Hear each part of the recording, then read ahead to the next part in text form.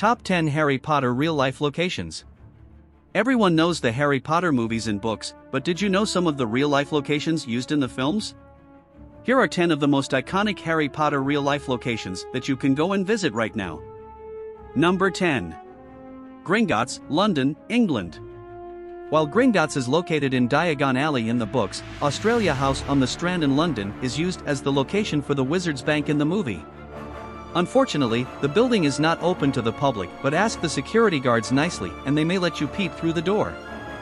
Australia House was opened by King George V in 1918 and is the home of the Australian High Commission so you can only go inside if you are visiting on official business such as dealing with visas, migration, and citizenship. Either way, you can always take photos of the outside. Try and sneak a peek through the windows. Number 9. Leaky Cauldron in Diagon Alley, London, England. Another recognizable location from the film series is the Leaky Cauldron at Leadenhall Market in London. This is a restored Victorian market hall designed in 1881 by Sir Horace Jones, also the architect of Old Billingsgate and Smithfield Market. It was originally a meat market, and you can still see the meat hooks above many of the stores, but today it's a great lunch destination, with some fashion and gift stores. In Harry Potter and the Philosopher's Stone, the location was a pub. The Leaky Cauldron is in real life an optician in Bull's Head Passage. Before proceeding further, please subscribe to the channel and click on the notification so you can get notified when we upload the next video. Number 8. The Night Bus, Tennessee, USA. In the movie series, the Night Bus is a moving bus that can take any stranded witch or wizard wherever they want. What would you do if I told you you could stay on the night bus? The Wizard Trolley in the Forgotten Forest, just like the name of this Harry Potter Airbnb, is not in London, England, but in Kodak Forest, Tennessee, not far from the United States Great Smoky Mountains National Park. Despite the surprising fact that this one-of-a-kind accommodation doesn't actually have the night bus name, it sure looks like it does. Number 7. Lambeth Bridge, London, England. This bridge is a popular attraction for all visitors in London and for many locals too. It crosses the Thames River dividing the borough of Southwark on the south bank from Lambeth on the north bank. This is the bridge where the night bus had to squeeze between two London buses in Harry Potter and the Prisoner of Azkaban. Please, do note the bridge actually has two-way traffic. Lambeth Bridge is next to Westminster Bridge where you'll find the Houses of Parliament north of the Thames and the London Eye on the south bank. Number 6. Number 12 Grimmauld Place, London, England. Between 1996 and 1997, there was some uncertainty about the location of Grimmauld Place, the ancestral home of the Black family and headquarters of the Order of the Phoenix. But since number 12 is invisible to muggles, we can assume that this is the most likely location in Claremont Square, a short walk from King's Cross Station. Some others fans think Lincoln's Inn Fields was used as the street outside number 12 Grimmauld Place in Harry Potter and the Order of the Phoenix. Grimmauld Place is a pun on Grim Place, and the Georgian architecture of the square, while well preserved today, may have been much more somber in the past. Both locations are also in London. Number 5. The Ministry of Magic, Visitors Entrance, London, England.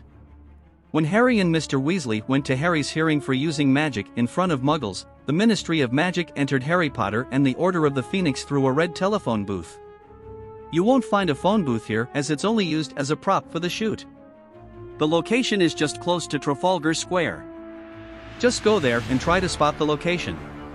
Let us know in the comments if you found it. Number 4. Alnwick Castle in Northumberland, England.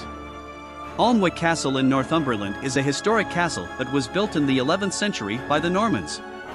It is now owned by the Duke of Northumberland and is open to the public to visit for a fee. It is also used extensively as a location for TV and film. The castle's most famous resident was Mary Queen of Scots who was imprisoned there after being defeated by her cousin Queen Elizabeth I of England at the Battle of Langside in Scotland. You may recognize this place without me even saying why. That's because this is indeed none other than the Harry Potter castle where Hogwarts is located. Number 3. Christ Church College in Oxford, England. Originally opened in 1249, Christ Church College is one of the oldest colleges of the University of Oxford in England. This college has been such an integral part of Harry Potter's universe and as Potterheads we all dream of visiting this majestic place. J.K. Rowling chose it as a setting in Harry Potter and the Philosopher's Stone when she needed a setting for Rubeus Hagrid's Great Hall scene.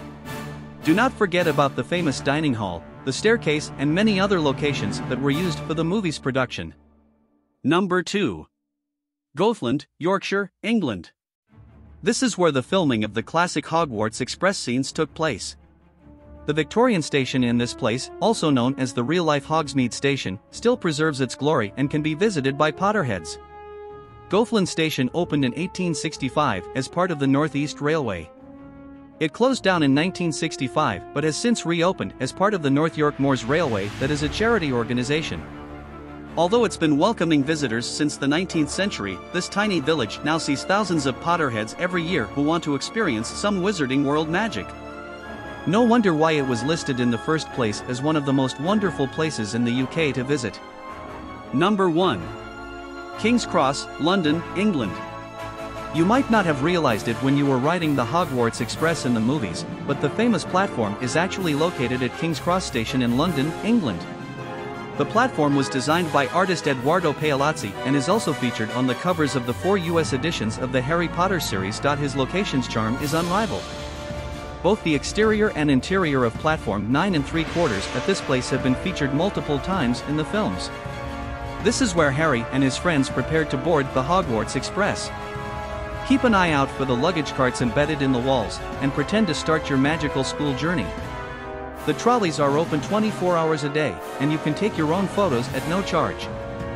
You can take a professional photo of the scarf in your own brand colors, which you can then view and buy at the Harry Potter shop next door styled to resemble Ollivander's Wand Emporium. You can find time turners, Horcruxes, and games, as well as Hogwarts school jumpers in house colors and even full sets of robes. It's a must for any Harry Potter fan worth their wand. This is all for today.